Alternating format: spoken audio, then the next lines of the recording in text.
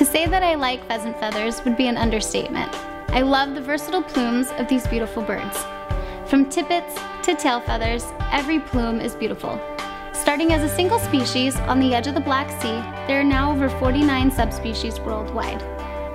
These include Reeves, silver pheasant, and Lady Amherst. But not all pheasants are colorful like the Lady Amherst, but their plumage does include intricate patterns that come available dyed in many shades.